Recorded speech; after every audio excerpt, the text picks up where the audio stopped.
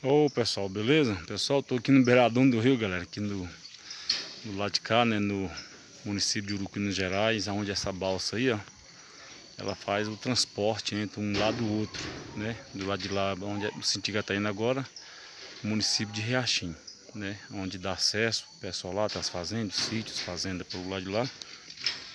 E olha, galera, a novidade que eu vejo aqui, e a vantagem desse nosso município, que além de nós ter uma boa água, e a balsa, o Porto Zé do Pó que é essa lancha aí, ó, a travessia é gratuita, né? Nos horários de trabalho aí, de 7 às 11 e de 1 às 5, né? Você não paga nada por esse trabalho. Você estiver visitando essas regiões, passando nesses horários aí, o horário é gratuito no 0800 mesmo. Então, mais é só agradecer mesmo e, Jesus Cristo abençoar que prefeitos e prefeitos virão, que mantém essa tradição porque é uma única, única forma de estar tá ajudando, né? A localidade, o povo barreirinho, né? Pessoal que vive da pesca, da lida, dos seus trabalhos, mantimento, pequenas agricultura. E depende muito dessa travessia, né?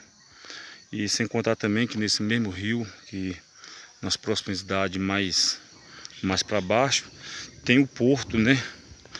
É, Ribeirão da Conceição, mas é porto Esqueci o nome do porto, meu pai do céu. É o. Ah, Porto São João dos, dos, dos Deus Reis, galera. Porto João, São João dos Deus Reis. A lancha lá é tão pequena, galera. Tão pequena. Que eu passei lá com a minha caminhoneta lá, ela passou com as rodas debaixo d'água. É, a continha da, da caminhonete D20, lá, o porto lá. Também funciona na mesma modalidade, né? Lá já, lá quem paga o balseiro lá já é a prefeitura de São Romão tanto travessa de São, do município de São Romão para o lado do nosso município de Urucuia e como travessa o pessoal de Urucuia para o lado de São Romão.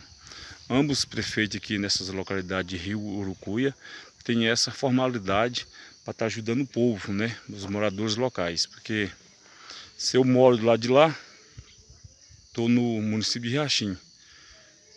Se eu estou do lado de cá, Estou no município de Urucuia, onde tem uns quiosques, uns bar muito arrumados para você estar tá degustando uma boa cerveja, um bom tiragosto, um bom peixe assado.